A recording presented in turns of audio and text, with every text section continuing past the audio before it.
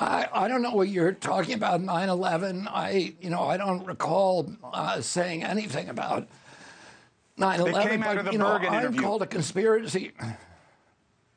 I, well, came out I, of, you, know, know what I I'm don't know talking what about. It came out of the you're Bergen talking interview. about. I, I do not Well, in the Bergen interview talking where you were I- saying you're not sure what happened. You know what I'm talking about, Bobby. I'm not. I'm not. You know me. I'm not trying to be uh, sneaky about it. You mentioned 9 11. The official explanation of 9 11 you, you buy? Which is what Al Qaeda attacked us on 9 I, 11. I, I don't know what happened on 9 11. I mean, I understand what the official explanation is. I understand that there is dissent. I have not looked into it, I haven't examined it. I'm not a good person to talk to about it. Well, I mean, so there's doubt in your mind that Al Qaeda was responsible? Well, I know, I don't know. You know, I know that there's. I know there's strange things that happen that don't seem. What, what are the strange things? Well, one of the buildings came down that wasn't hit by a plane. So, you know, it was building seven or building 10. That collapsed because two of the world's biggest buildings collapsed on top of it. No, they didn't collapse on top of it. My offices were down there. My offices were closed. So one of the buildings in next to the Trade Center. No, there's pictures of it collapsing. There's nothing collapsing on top of it. I mean, I listen. I don't want to argue any theories about this because all I've heard is questions. I have no explanation. I have no knowledge of it. But, But if what you're- you're repeating now, I know not to be true.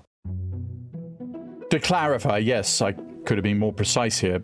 The government's official report found that Building 7 was hit with debris from the North Tower. That impact caused fires, which led to the building collapse.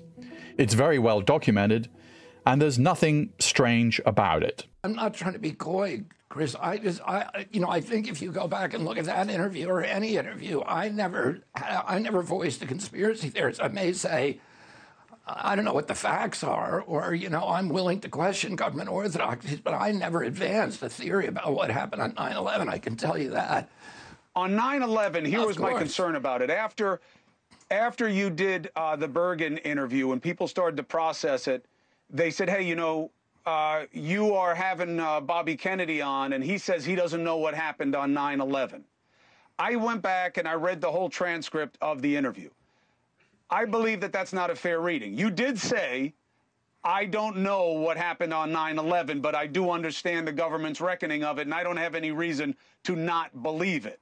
Is that what you're saying? Or are you saying that you don't know whether you believe what the government says happened on 9 11? This matters. Well, I don't, you know, listen, I've been around long enough that I question everything that the government tells me. And I think people who don't question what the government tells them are not paying attention. You know, when I was a kid, the government didn't lie to us. And American, 80% of Americans in 1960 believed that the government didn't lie to us. And then a lot of things happening. One, my uncle's assassination Right. And you know the Warren Commission report, which a, a subsequent congressional investigation came to a completely different conclusion in the Warren than the Warren Commission report, mm-hmm. a, a, a congressional investigation that was much more thorough. Oh, the then the the Pentagon Papers came out in 1973 and showed that the government had systematically lied to us about the war in Vietnam.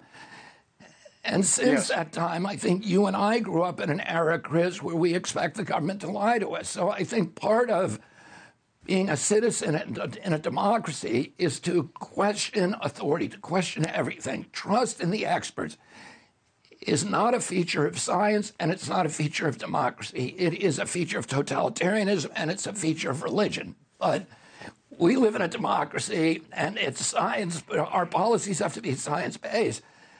And so we need to question everything. And when new facts come, we need to question them again. And so, I- you know, I'm not going to say Understood. But you're not pitching. You're not tells me, and pitching an alternate theory. You're not pitching an alternate no, theory I, of what happened on 9 11. No, I've, I've never pitched. Okay. I've never pitched an alternate, alternate But- theory. there's a lot in the air accusing you of it. I want to give you the opportunity to address it, and you have. That's what we do here. Uh, so, Bobby Yeah. Kennedy, um, again, I've, kn- I've known you a long time. People know uh, that we've been friends for a long time. I don't do you any favors if I don't tell you what they're saying about you and give you a chance to handle it on your own terms for this audience. And that's what you'll get every time out. Thank you so much, Chris. I, I appreciate it. I've told you before, I want you to always be tough on me, and you're a good journalist, and I appreciate that. It's not tough. It's just fair. If they're going to say it about you, I should say it to you and give you a chance to deal with it face to face with the audience. You can come after me when I see you in person. Bobby Kennedy Jr., thank you for taking the opportunity. Happy Easter. Thanks for having me, Chris. Happy Easter to you and your family.